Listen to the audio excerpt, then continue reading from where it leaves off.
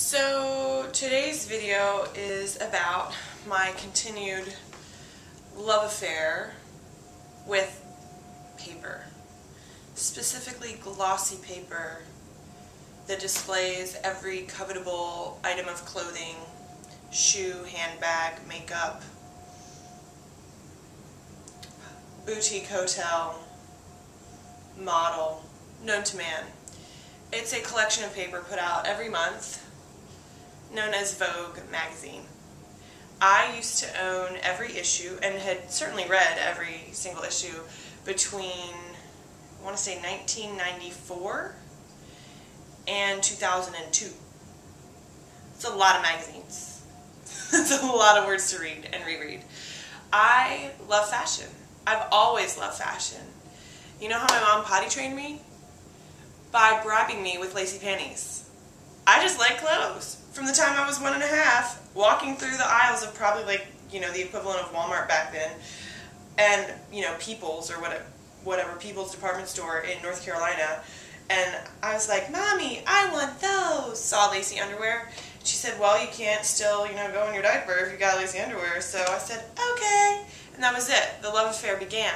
And during recovery, I made a conscious decision not to read magazines anymore. I canceled my subscription to Vogue and really went on quite a, a long media fast just recently, um, about three or four years ago, where I, I stopped reading almost all media, newspapers, stopped watching the news, definitely didn't read Vogue, didn't read New York, The New Yorker, didn't read any of the magazines that I had previously, uh, W, been accustomed to reading, and it was really a, a, nice break. And just recently, I picked up another issue of Vogue magazine after quite a long hiatus, and I forgot how wonderful Central Park looks, photographed with models in, you know, sumptuous cashmere capes.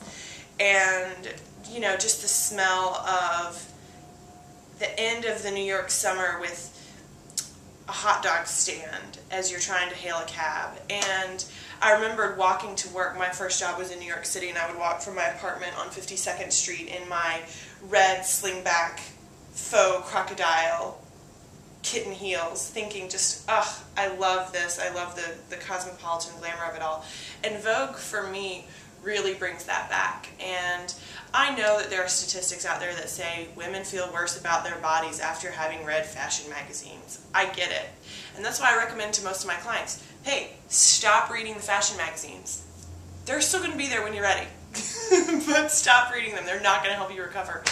And now, going back to it, gosh, it's just with this huge wave of nostalgia that I'm like, ugh, I love Vogue. Do I need to read it every month? Probably not. But will I devour an issue? Heck yeah. Hence my love affair with a heap of paper that really is transporting and holds just a variety of inspiring images. So, there you have it. Read magazines or don't. Always love your body.